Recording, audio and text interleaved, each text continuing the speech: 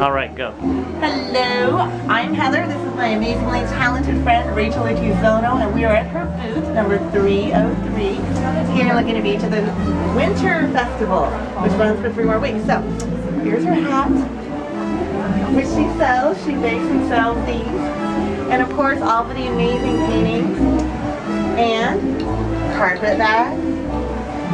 Ooh, actually, this one's really cool. That looks pretty good on me. And these are all handmade as well. Vintage fabric. So this one's actually lined with leather. That is actually leather. It's a leather bag.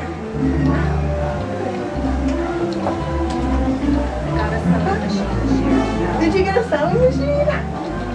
Very nice. Hey, this hat actually is pretty cool. It fits my head. And I have a very big head. Not for pinheads. so very nice. Did you get some of her beautiful art as well?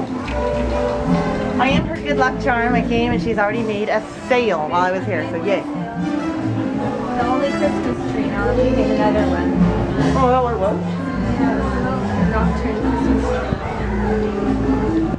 What is this about, Rachel? decoration. Oh, that's cute. really made it. Okay, we've got about a minute and a half.